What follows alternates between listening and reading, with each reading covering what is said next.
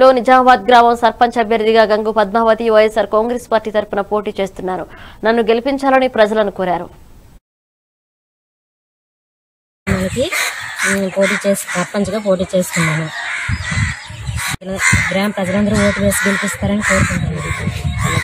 గంగు రామారావు నిజామాబాదు గ్రామ పంచాయతీ ప్రజలందరకు అలాగే ఇక్కడ ఇచ్చేసిన దశ స్టాఫ్ అందరికీ గల వదిలిపోవడం నమస్కారాలు తెలియజేసుకుంటూ అప్పుడు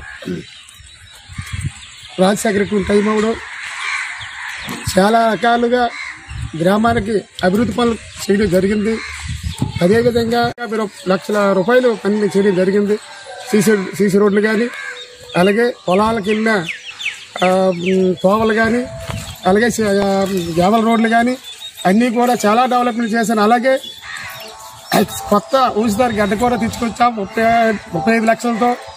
ప్రజలు చాలా సత్సేవలుగా ఈరోజు అన్నీ పండించుకుంటాంటారు ఇప్పటి వరకు కూడా ఆ రాజశేఖర రెడ్డి వేరే చెప్పుకున్న జనాందరూ కూడా.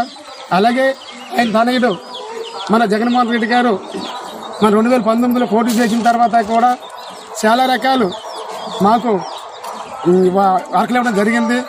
అలాగే హౌస్ సైట్లు ఇచ్చారు. ఒక ఇరవై వయసు ఓట్లు కూడా ఇచ్చారు.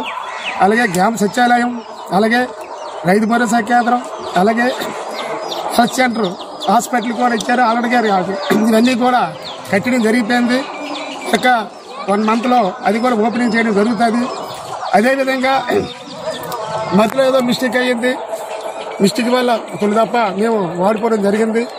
ఈరోజు జగన్మోహన్ రెడ్డి పేరు చెప్పుకొని ఆయన చేసిన పథకాల పేరు చెప్పుకొని ఈరోజు మళ్ళీ నా హనుమాన్ ప్రసాద్ గారు నాయకత్వంలో నేను ఈవేళ మళ్ళీ మీరు పోటీ చేయడానికి కూడా చెప్పడం జరిగింది. కంపల్సరీ మెజార్టీతో గెలుస్తారని కింద కూడా మాకు చెప్పడం జరిగింది. ఆయన అడుగుజాడిలో మేము ఇప్పటి వరకు కూడా ఆయన మాట మా బాట ఇప్పటి వరకు. అలా ఉన్న దాని కింద మళ్ళీ నాకు పోటీ చేయమని చెప్పడం జరిగింది ఇప్పుడు. అలాగే నిజామాబాద్లో కొన్ని కొన్ని లోటుపాట్లు ఇంకొన్నాయి అది కూడా ఇప్పుడు మాకు మాట ఇవ్వడం జరిగింది. మన కాంతి ధర్మారి ప్రసాద్ ఎక్స్ మినిస్టర్ గారు ఇప్పుడు ఏంటంటే చాలా రకాలు ఇంకొన్నాయి.